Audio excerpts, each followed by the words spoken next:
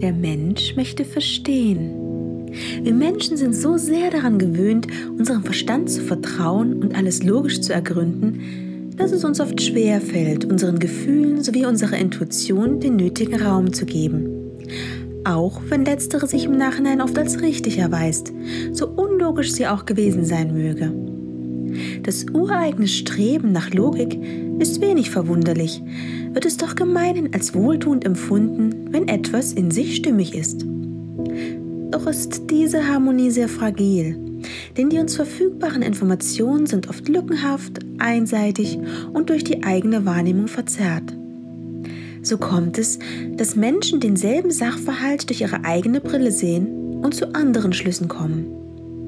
Individuelle Erfahrungen, Ängste und Perspektiven beeinflussen unsere Wahrnehmung zusätzlich.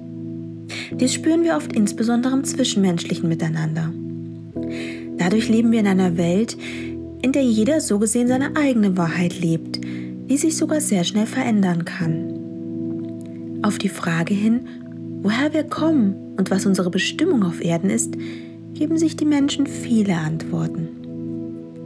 Doch im Reich Gottes gibt es nur die eine Wahrheit.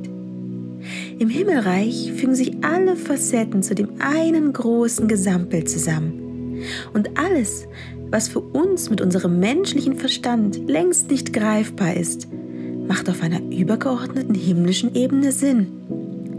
Wenn wir immer öfter die Fähigkeit kultivieren, unserem Verstand bewusst eine Auszeit zu geben, ja auch zu akzeptieren, dass wir nicht auf alles eine Antwort haben und stattdessen ins Vertrauen gehen, dann kann sich ein Herzensraum in uns öffnen, der eine tiefere Weisheit offenbart und uns mit Momenten glückseliger Verbundenheit segnet.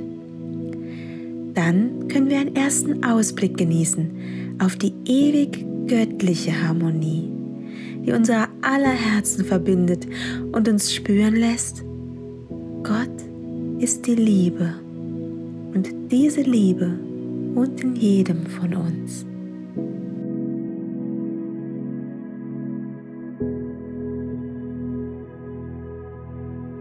Gott ist die Liebe. Dieses Lied kennen wir wahrscheinlich noch von unserer Kindheit. Wir haben es oft in der Sonntagsschule zusammengesungen. Aber auch jetzt stimmt es genauso.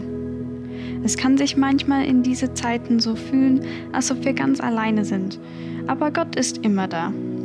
Natürlich ist es schwieriger, dankbar zu sein, wenn unsere Welt nicht so ist, wie wir es gewohnt sind und wenn wir jeden Tag mit wichtigen Sicherheitsinformationen bombardiert werden. Aber wir können dankbar sein, dass wir auch auf dem Internet zusammen Gottes Wort hören können und seine Liebe spüren. Gottes Liebe können wir auch in unseren Kollegen, Schulfreunden und Mitbewohnern sehen. Und diese Liebe können wir auch zurückschenken.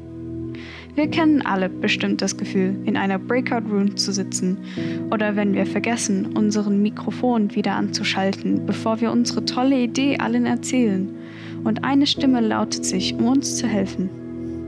Nächstenliebe ist genau das, was wir brauchen und was wir weiterleiten können durch kleine Worte.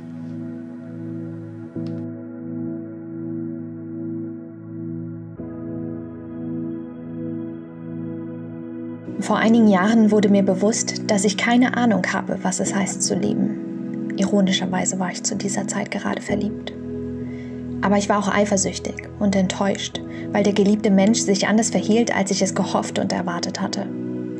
In 1. Korinther 13, 4 bis 8 heißt es unter anderem auch, dass Liebe nicht eifert und dass sie alles duldet. Wenn ich an meine eigenen Erfahrungen denke, muss ich mir eingestehen, dass das, was ich für Liebe hielt, anscheinend nur die halbe Wahrheit ist. Mehr noch, ich musste erkennen, dass ich das, was im Brief an die Korinther über die Liebe geschrieben steht, so wohl nie erleben werde. Das hat mich erstmal ganz schön traurig gemacht. Aber dann habe ich mich auf die guten Seiten des Verliebtseins besonnen, dachte daran, wie ich meine Neffen als Babys im Arm hielt und habe mich daran erinnert, wie es als kleines Kind war, wenn mich meine Eltern getröstet haben. Und habe mir bewusst gemacht, ja, das gehört ja auch zu meiner Vorstellung von Liebe.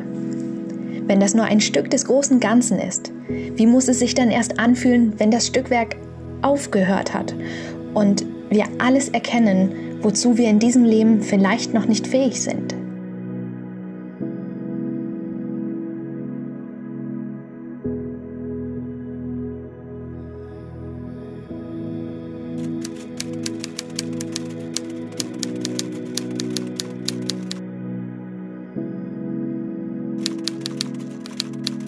you